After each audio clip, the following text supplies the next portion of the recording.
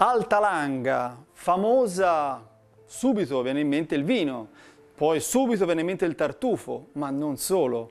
Nell'Alta Langa si produce anche un prodotto d'eccellenza e rappresenta il Piemonte in pieno e è una nocciola. La nocciola dell'Alta Langa è estremamente preziosa, famosa, tutti ne parlano, in realtà è un prodotto veramente di nicchia perché ce n'è veramente molto poco, è un prodotto di eccellenza e, e chiaramente eh, si riesce ad avere, grazie a questo prodotto, poi delle lavorazioni completamente eh, aperte su questo, perché possiamo produrre dalla nocciola semplice, semplice, ricca da mangiare così, dalla farina di nocciole per tutte le lavorazioni di pasticceria, fino ad arrivare alla crema di nocciole, semplicemente nocciole macinate e emulsionate, quindi ho proprio un'essenza di nocciole per avere un prodotto unico. E adesso andiamo ad assaggiare i prodotti dell'azienda Terra delle Nocciole, Altalanga.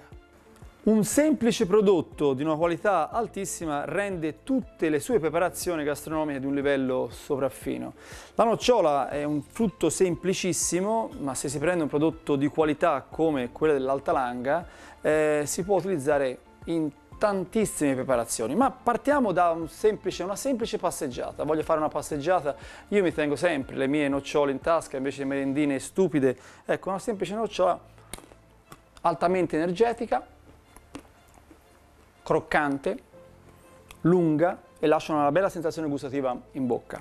Tra l'altro la nocciola è ricca di acidi grassi buoni, sani, che combattono il colesterolo, quindi è un prodotto sicuramente da prendere in considerazione per una dieta energetica, piacevole, leggera.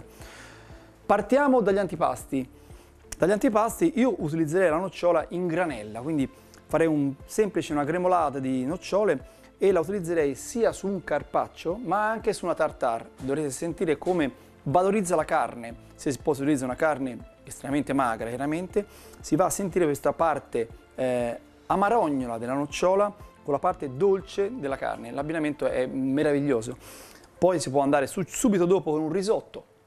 Il risotto io adoro è semplicemente un buon riso, un bel carnaroli, quindi un cricco grosso, semplicemente partendo con una rosolatura del riso e valorizzare che cosa? Eh, con una semplice pera, adesso è la stagione delle pere cosce, si va con la pera, si può utilizzare il formaggio tipico piemontese come il castelmagno, ma possiamo utilizzare anche un taleggio bello avvolgente. E per finire, visto che abbiamo messo preparazioni gastronomiche come la pera, il taleggio dolce, utilizzerei una gremolade subito sopra a fine eh, di mantecatura di nocciole insieme a un po' di erbe aromatiche un po' più amarognole come la salvia e il rosmarino, ma veramente in minima parte. Questo abbinamento eh, risulta particolarmente piacevole che dà un po' di contrasto e divertimento gustativo. Come secondo i piatti la nocciola eh, adora anche il maiale, quindi si può utilizzare una farcitura di, un, di, una carne di maiale, di un'arista, insieme a delle prugne e con delle nocciole sentirete come esalta ancora di più la carne.